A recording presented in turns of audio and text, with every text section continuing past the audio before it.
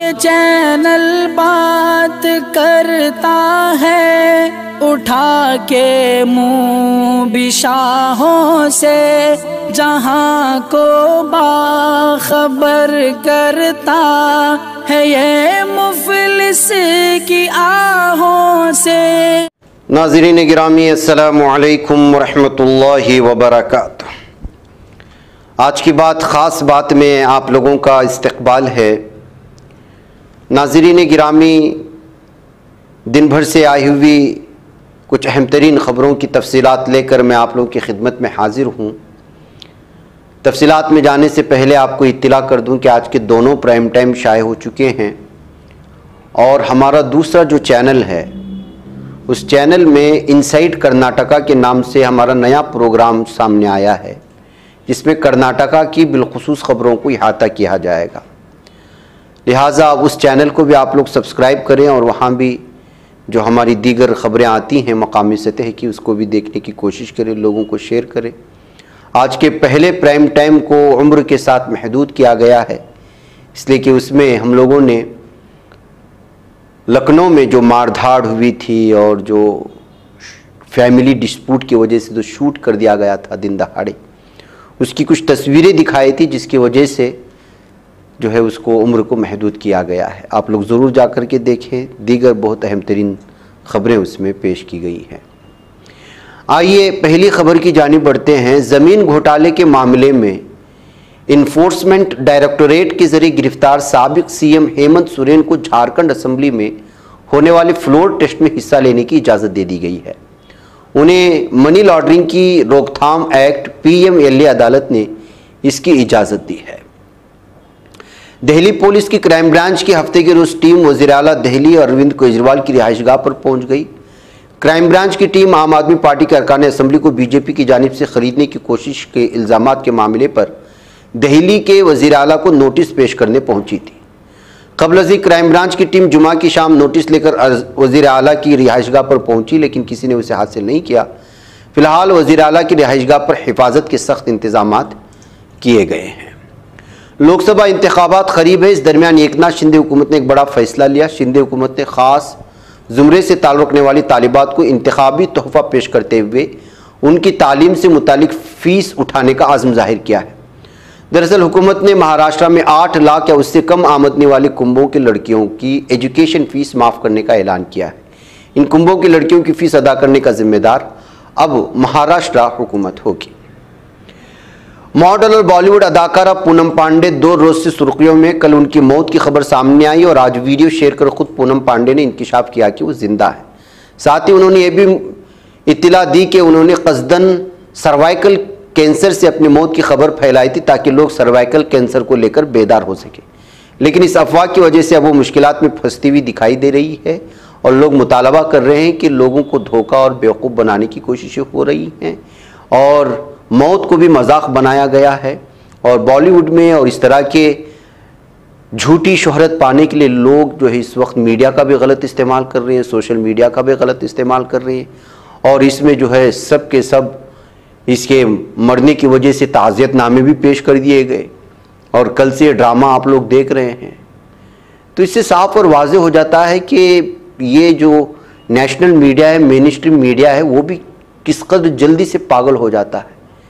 बग़ैर तहकीक के किसी के कहने पर फ़ोटो के साथ सारा कुछ शेयर कर देता है। लोगों के तजियतनामे आने शुरू हो जाते हैं। कोई टीवी पर आकर रोने की एक्टिंग भी कर लेता है।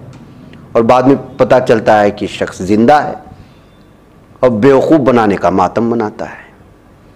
ऐसी इस वक्त मीडिया पूरे के पूरे लोगों को बेवकूफ़ बना रही है।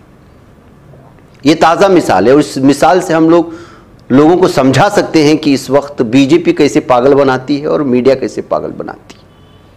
और पूनम पांडे की हालिया, उसकी मौत की खबर खुद अपने तरफ़ से वायरल करना और फिर उसके बाद कहना कि मैंने मुतल कैंसर के बारे में बेदारी पैदा करने के लिए झूठ फैलाया और भारत की 120 करोड़ की आबादी को बेवकूफ़ समझ रही है। वो समझते हैं इसलिए कि हम लोग बेवकूफ़ बन जाते हैं।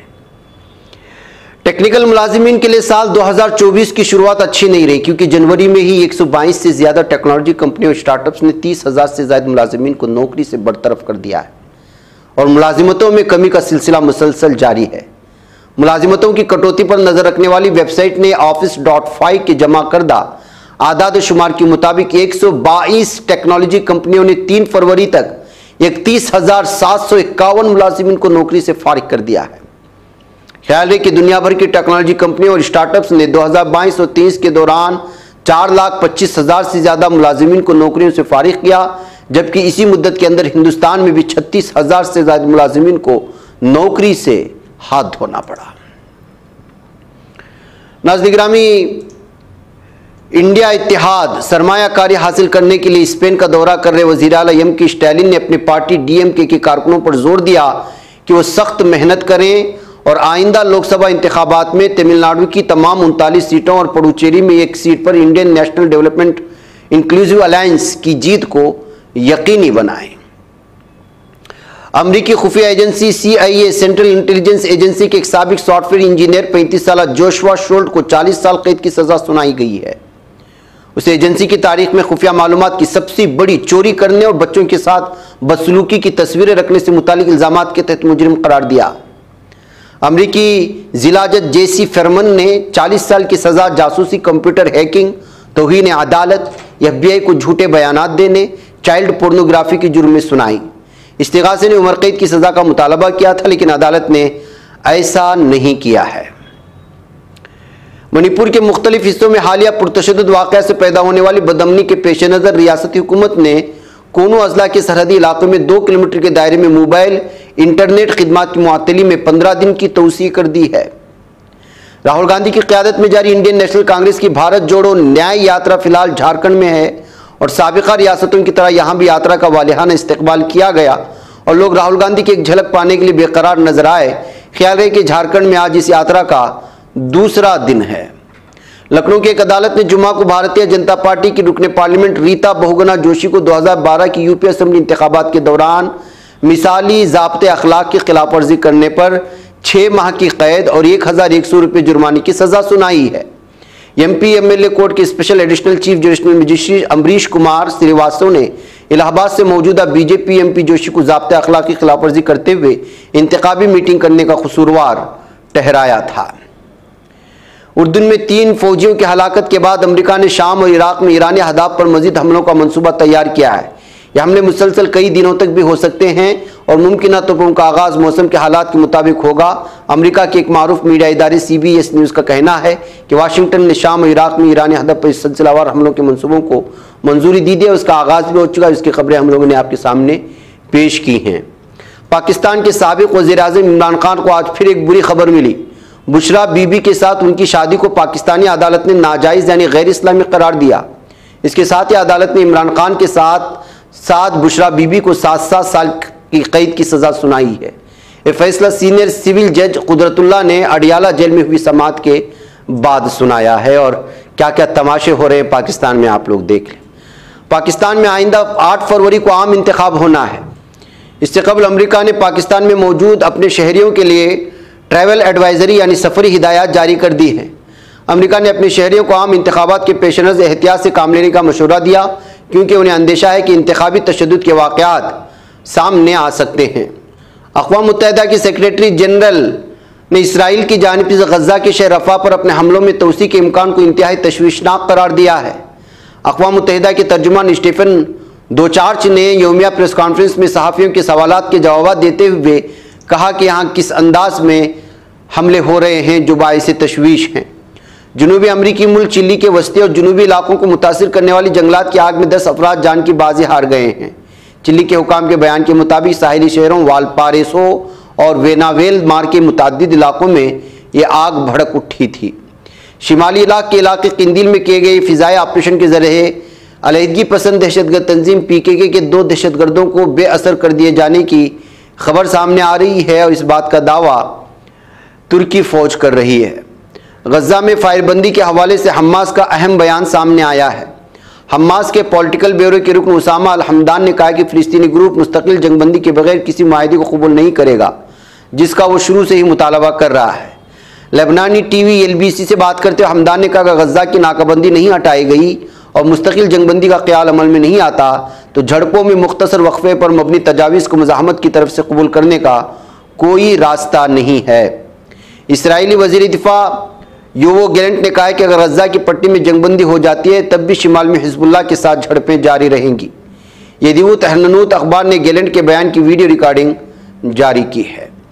नाजनिगरा में आज की बात, ख़ास बात में इतना ही। इंशाल्लाह फिर आप लोगों से मुलाकात होगी। मुझे इजाज़त अल्लाम वरहमल वर्क आइए, अपने ख्वाबों के घरोंदों को बाबरकत बनाते हैं। उनके दीवारों को कुरान की आयात से सजाते हैं।